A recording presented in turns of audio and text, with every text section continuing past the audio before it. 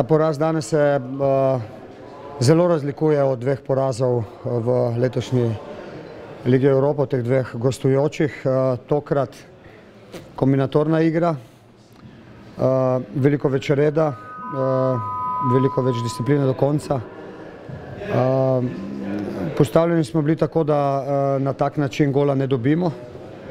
Nažalost je nasprotniku iz zelo malo uh, priložnosti oziroma tako rekoč nič dose, uh, uspelo doseči ta zadetek. Iz uh, situacije, na katero smo bili zaradi te postavitve tudi pripravljeni. Škoda, da za to, drugače pa si fanti zaslužijo čestitke. Jasno je, da ne moramo biti zadovoljni, ker, nismo, ker smo poraženi, vendar kljub temu so oddelali in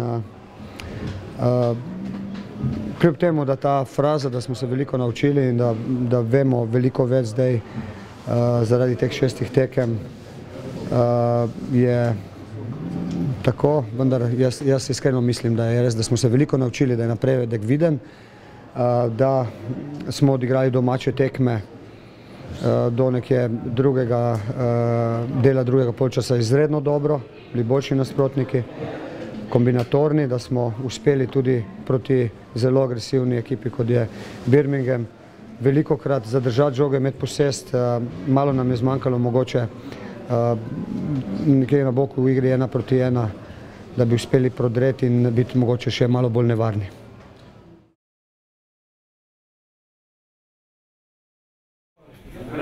Disciplina in eh, ne prezbalo za letavanje in iskati svoje priložnosti nekako potem proti napadi in tudi nekako postavimo obrambo, da se da nekako nekaj več narediti. Uh, in uh, tega poskušnje so pač takšne, da nam vsake dan nekaj novega in uh, da iz tega potegnemo tisto največ in nas bodo naredilo močnejši.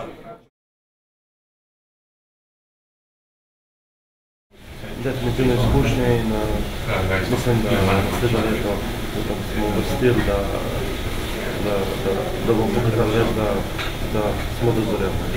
Da je to da nazaj, seveda, če bi zmagali še kakšno, znači v začetku tekmovanja, seveda, ne, vstaj grem koba, ker doma bi lahko svi vsaj šest točke, da smo v rokah.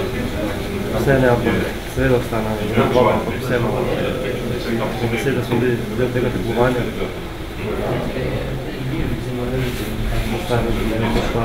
Vidim glas gor in ljubim. Na štirih tekmah, ki smo jih dveh tekmah, nismo bili konkurenčni, to je proti Brižu in proti Bragi na neobstovanjih. Štiri tekme se pa lahko obrne tudi v našo korist. Temi vložki, ki imamo mi, igrati proti takšnim, takšnim klubom, kot je Birmingham, se pravi Fernandez, mislim Braga in Briž, je to fenomen, tako da nemogoče, nemogoče je govoriti o, sla, o slabih starih aminosih.